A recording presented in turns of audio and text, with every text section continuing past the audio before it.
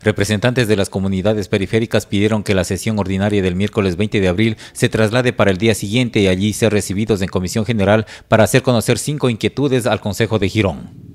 Explicación detallada del presupuesto participativo desde el 2018, cronograma de la ordenanza del uso de la vía pública, presupuesto de la Prefectura de la SOI para el fomento productivo, implementación de radares, apoyo en el tema de vialidad en la zona rural. Fueron recibidos del día y hora, pero en una mesa de trabajo junto al alcalde, concejales y técnicos. Vamos a dar la palabra en cada uno de los puntos, con la consideración, con el respeto que se merecen ustedes y todos, tratar de aclararnos cualquier situación o tema que haya pendiente, encantado, mejor todavía. Referente al presupuesto quedó pendiente debido a que se pidieron documentos al detalle de los recursos comunitarios desde el año 2018. Eh, he trabajado, pero hasta donde más he podido, pero si no aquí dentro del municipio he tenido que solventar alguna, alguna información.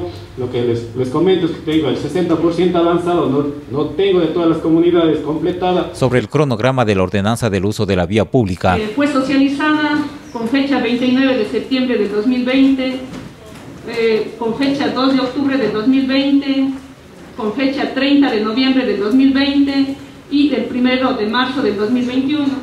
Pero eh, ante la necesidad, señor alcalde, se ha procedido a establecer un cronograma para la visita a cada una de las comunidades. Que es algo bueno que se va a salir en adelante a todas las comunidades porque nosotros como presidentes quizás no podemos hacer cumplir estas, ordenanzas mientras no sea socializado con toda la gente y la parte técnica se vaya a decirles cuáles son las, las, las cuáles serían nuestras obligaciones que tenemos que tener como ciudadanos. Antes el comisario era juez y parte y por eso hemos tenido una deficiencia en el control, pero la gran mayoría se les va de las manos porque no hemos tenido personal a tiempo completo dedicado a esto. Entonces ahora tenemos el instructor y el juez sancionador. Pero no es solamente para esta ordenanza, estimado Andrés.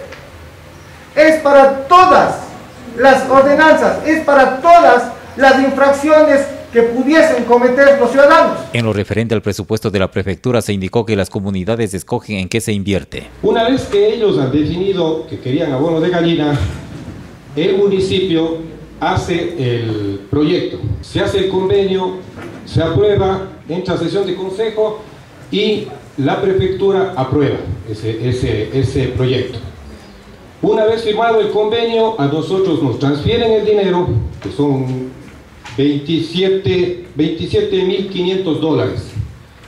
Y con ese dinero nosotros hacemos la adquisición de los, de los abonos de gallina.